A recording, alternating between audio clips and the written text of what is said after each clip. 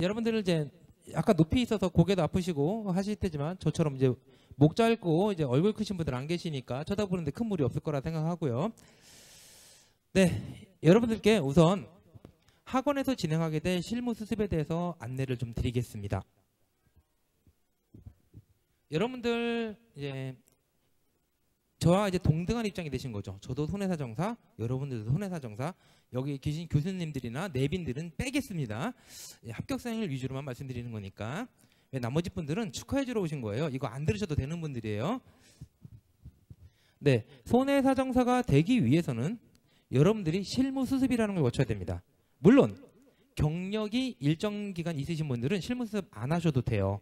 예, 저 같은 경우도 예, 보험사 쪽에 경력이 있어서 실무 수습 안 하고 전 손해사정사 됐습니다. 그런데 학교를 졸업하신 분들이라든지 아니면 이제 보험사에 계시던 분이 아니시라면 이 실무 수습 과정을 반드시 거치셔야 돼요. 이건 법으로 정해져 있는 법적 의무 사항입니다. 그래서 여러분들 1차 시험 합격하신 분이 2차 시험 볼 수 있고 2차 합격하신 분은 반드시 실무 수습을 거쳐야만 손해사정사 등록이 가능합니다. 어디에? 금융감독원에. 그러면 실무 수습은 저희 학원에서는 어떤 실무 수습을 하고 있는지 여러분께 잠깐 소개를 드리겠습니다. 저희 시 학원에서 진행하는 실무 수습 단계는 이렇게 구성이 돼 있어요. 실무 수습 대상자는 신체 손해사정사 합격자 해서 이렇게 합격자만 들을 수 있죠. 그래서 합격자가 아니신 분은 안 들으셔도 되고 지금 고개 많이 아프실 텐데 이렇게 연로하셔서 들고 계신 우리 교수님들 안 들으셔도 됩니다. 예, 너무 열심히 이거 강의 안 들으셔도 되고요. 그 실무 수습 기관은 어, 법인 손해사정 법인이라든지 아니면 보험회사 또 이런 데서 할 수도 있고요. 저희처럼 이제 학원에서도 진행하는데 저희도 원래 학원 이름으로 실무 수습을 할 수는 없습니다. 그래서 학원이 어, 보상 TV 손해사정 법인이라는 곳과 연계해서 저희들이 후원해서 진행을 하게 되는 겁니다. 두 번째, 예, 실무 수습 구성 내용은요.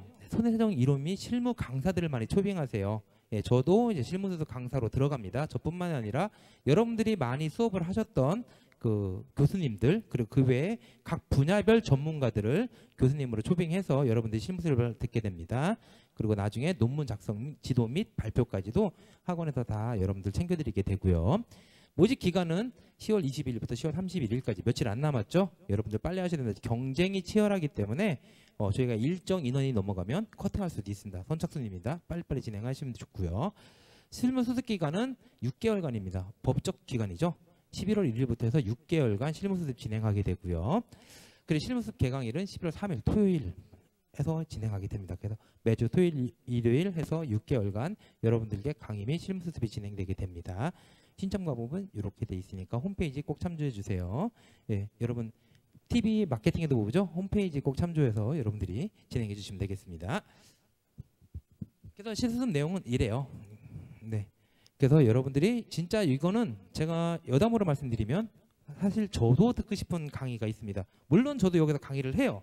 근데 저도 제 전문 분야가 있고 제 전문 분야가 아닌 이런 것들 저도 한번 해보고 싶은 강의지만 저는 자격이 안 돼서 학원에서 안 받아줍니다. 그러니까 여러분들 영광으로 생각하시고 이런 거 있으시면 관심 많이 가져주시면 감사드리고요. 실제 현실에서 많이 써먹을 수 있는 내용들이 주가 되게 될 겁니다. 그러면 저희가 그동안 이제 보사모라고 해서 학원에서는 어, 보사모 1, 2, 3, 4기에서 저희 학원에서 강의 들으시고 합격하시고 실무 수업한 분들에게 각 기수별로다가 저희가 이렇게 운영하는 게 있어요. 그래서 실제 1, 2, 3기, 4기까지 나왔고요. 작년도가 4기였죠. 예. 여기서 사기는 사기치다 사기 아니고요. 그냥 1, 2, 3, 4 사기입니다. 그 사기까지 해서 저희들이 실무 수습 하신 분들이 100% 취업에 성공하고 자격증도 100% 취득했습니다. 여러분 이거 실무 수습 그냥 넘어가는 거로 생각하시면 큰일 납니다.